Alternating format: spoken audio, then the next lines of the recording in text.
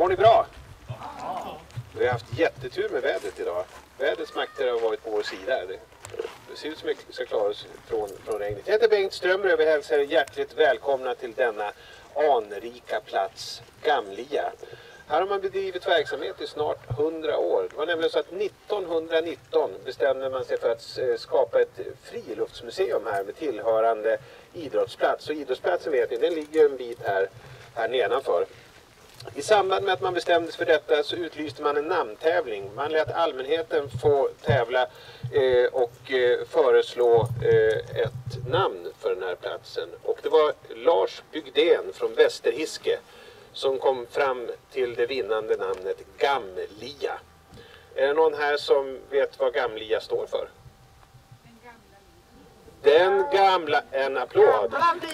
Den gamla liden, precis. Du vann 10 poäng. Förvalta dem väl. Man vet aldrig när de kan komma till pass. Nej. Eh, vad man kan fundera på är vilka namn var det då som kom på andra respektive plats? Detta ska vår folklivsfanatiker Job Andersson lära oss och mycket mer på denna historiska vandring. Men till att börja med en stor applåd för Job Andersson! En lyft på. De är det räven också ser jag.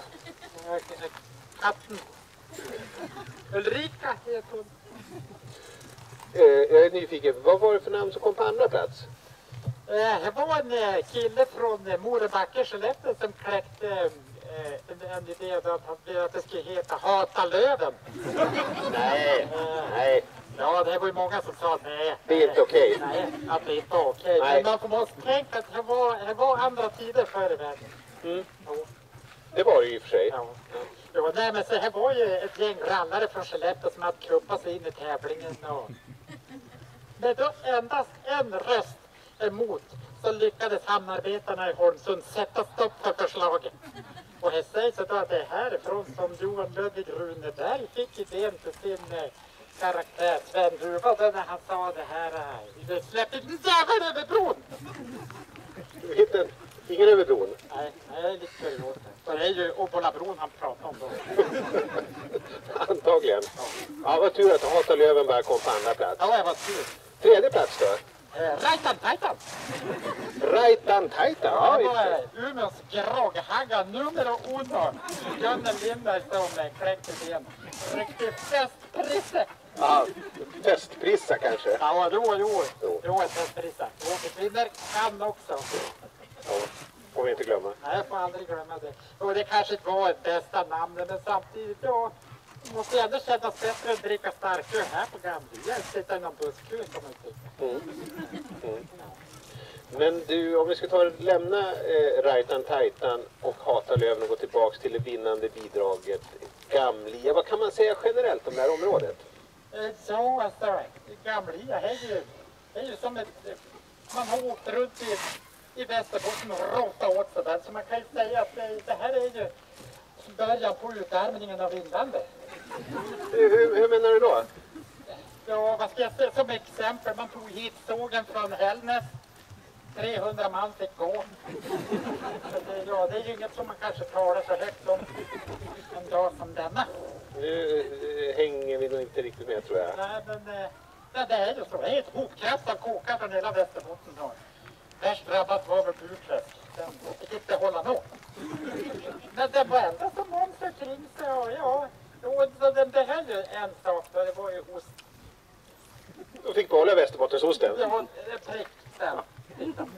Men annars generellt kan man säga att burträskare har alltid haft det tufft. Jo, jo.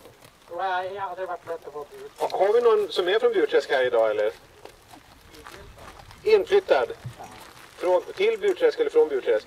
Till Burträsk, just det. För att vi har tillsammans med Gamlia en debriefingverksamhet efteråt. För det kan komma att visa sig här under den historiska vandringen att det, det vid flera tillfällen just Burträskare har råkat lite illa Jag ut. vet att vi alla här tycker synd om. Ja, absolut. Jag.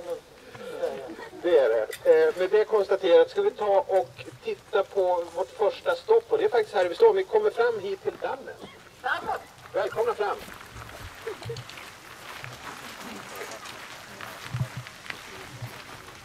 Damm! dammen. Förr i världen var det modernt med damm. Populärt. Alla hade damm. Det var som dåtidens studsmatta. Men man sa man hade hört det skulle vara så rogivande och skönt och lugnt att få titta på stillastående vatten. Och så, så kunde inte sova, gick ut, kastade en blick på dammen, slocknade, vaknade 12 timmar senare.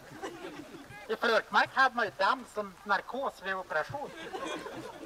I Vännäsby så hade man ju den dammen mitt på gården och så kunde man ju då frotta saker över som var, ja, så fiffigt. och jag vet inte varför. Ja, det kunde ju vara någon kartong som skulle till förråd eller man skickade smör. Jag vet inte fan, det är någon gamling som skulle över. För det här var ju före rullatorn. Uppfinningsrikt förr i tiden. Ja, oerhört. Ja. Och vad ska jag säga? Men ja, den här dammen är ju från eh, Trehörningssjö. Alltså såg han ju inte ut så här. Här är inte originalet. Eh, då hade den ju fontän och keruber och enhörning. Eller kerub och kerub. Det var ju, vad ska jag säga? Den, den icke arbetsför på, på gården fick jag agera då. Fantasidjur. Ja, det var ju de, de gamla, några sjuka djur, småglin och sånt där som inte kunde hjälpa till på annat sätt än då Ja, så delar man på graserna och var, var kerub eller enhörning. Och låg och plaskade fint och sprutade i takt och timing. Den- När husbon kom hem från skogen ville han se ett tjusigt vattenspel. Och, och de hade timing och timing, här var ju allt förr i världen. Det var det? Ja, och det var värt oerhört mycket med timing. Det var värt mer än snoppen. Värt mer än hjortron alltså? Okej. Ja.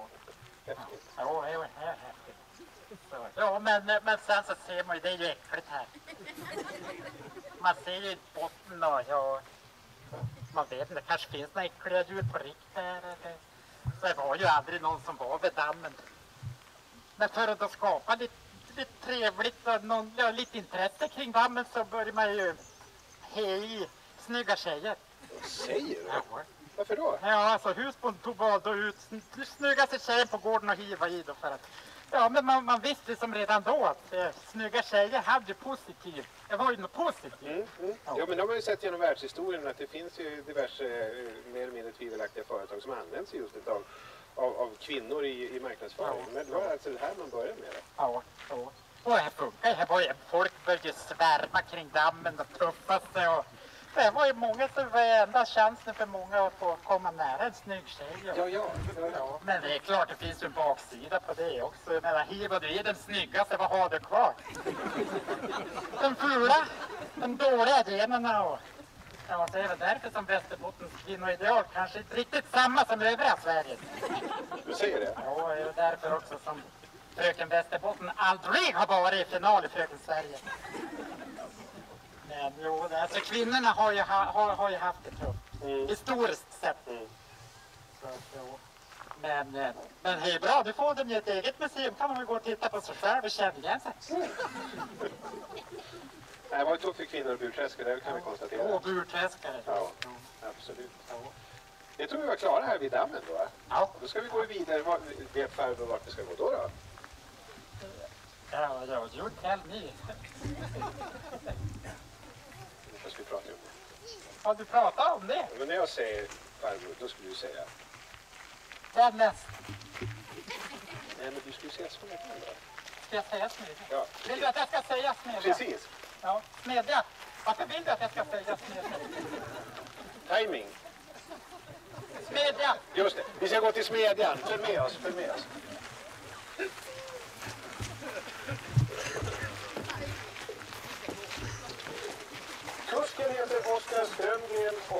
Artisten heter Ulrika. En applåd. Kollegor ledsagare, under gärna en stor förhandling.